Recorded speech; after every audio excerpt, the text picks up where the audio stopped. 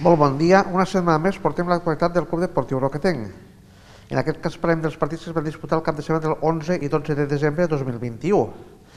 Començarem, com sempre, al futbol base, encara que diríem que els equips prebenjamí i benjamí no van disputar aquells partits aquest cap de setmana perquè es van ajornar degut als casos de Covid que, han a,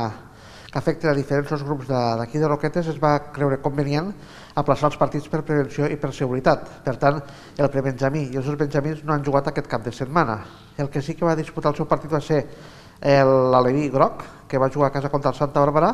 i va perdre per dos gols a quatre, quan l'altre Aleví, el Roquetenc Roig, tenia jornada de descans. El que sí que també va jugar el seu partit va ser el Roquetenc infantil, que anava al camp de l'Ametlla, i en un partit molt disputat i molt emocionant, finalment el Roquetenc es va imposar per dos gols a tres. Els gols del Roquetenc els van marcar Manel Garcia, Eric Royo i Roger. Bona victòria del Roquetenc, que a més va remuntar un marcador advers i que li donarà confiança i moral a aquest infantil per a seguir progressant en aquesta lliga. Acabat el futbol base dient que l'equip femení aquesta jornada doncs, no tenia lliga, però va aprofitar per a disputar un partit dels que tenia aplaçat. Concretament va disputar el partit que tenia pendent contra el Sant Jaume, que es va jugar aquest dissabte, i el Roquetenc va guanyar per un gol a zero. Un solitari gol de Laura Santa Maria va donar 3 punts més al femení del Roquetenc en aquesta lliga. I repassat el futbol base i el futbol femení, parlaríem ja del primer equip del Roquetenc, que en aquesta setmana anava al camp d'un dels cues, el camp del Corbera, un partit que en principi el Roquetenc no tenia una avantatge, ja que l'equip local no tenia moltíssimes baixes fins al punt que l'equip Corbera es va presentar el partit amb només 10 jugadors disponibles, per tant, el Roquetenc doncs, tenia una bona opció per a sumar tres punts. Tot i l'adversitat, l'equip local, dir, que va plantar cara a la primera part, doncs va, va lluitar moltíssim, esperat pel seu públic i va posar les coses difícils al Roquetenc. Fins i tot l'equip del Corbera va enviar una pilota al pal, però el Roquetenc es va poder avançar a l'últim minut de la primera part. Un gran gol de falta de David Vilanova, una falta lateral que quan tothom esperava la centrada doncs va sorprendre amb un xut directe i marcaria un golàs que marca, seria el 0 a 1, el Roquetenc marcaria al descans. A la segona part l'equip local, doncs, molt mermat, molt cansat, doncs el Roquetenc es va imposar la seva superioritat i amb, amb tres gols en 8 minuts acabaria resolent el partit. Eh, dos, dos gols de Ilias i un de Ivan Aras posaria el 0 a 4 i el Roquetenc acabaria arrodonint la golejada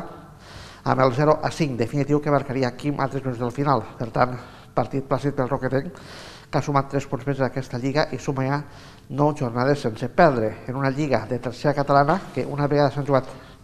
10 jornades, o sigui, un terç de la competició queda de la següent manera. El Catalunya segueix líder intractable amb 30 punts, l'acaba és segon amb 23, i el Roquetenc ha guanyat dues posicions i el Tremens està en una meritòria tercera posició amb 21 punts, un bagatge de 11, de 15 gols a favor i 4 en contra. El quart és el Gandesa també amb 21 punts i tanquen el Corbera amb 3 punts i l'Olimpi de Mora amb 2 punts. Ara el que fem serà repassar la propera jornada, que de fet serà l'última jornada de competició d'aquest any 2021.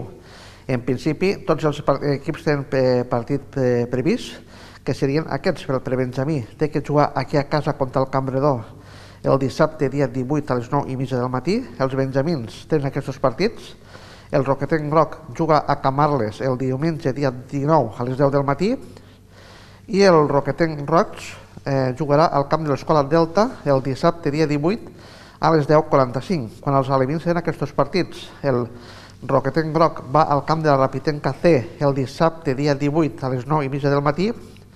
i el Roquetenc Roig va al camp de l'Olímpic de Mora d'Ebre el, el dissabte, dia 18, a les 10 del matí. Quan l'infantil rebrà aquí casa a la Sènia el dissabte, dia 18, a les 11.45, i quan el femení jugarà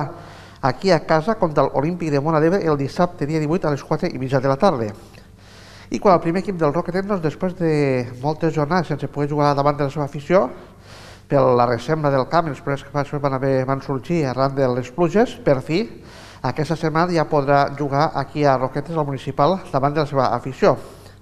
El partit s'ha previst per a les eh, 18 hores i del dissabte, dia 18, a les 18 hores i prèviament, abans del partit, a les 17.15, tindrà lloc l'acte de presentació de la, de la plantilla del preequip, un acte que havia quedat pendent, ja que no s'havia pogut fer fins ara,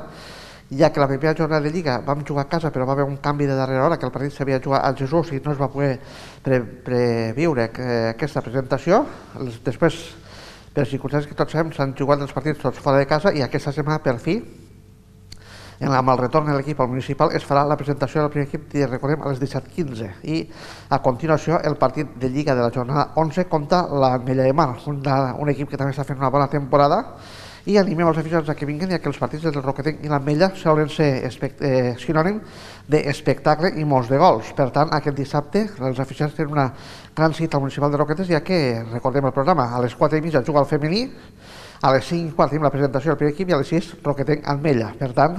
animem a tota la gent que vingui al camp aquest dissabte que segurament que, que ho passaran bé i gaudiran d'una gran tarda de futbol.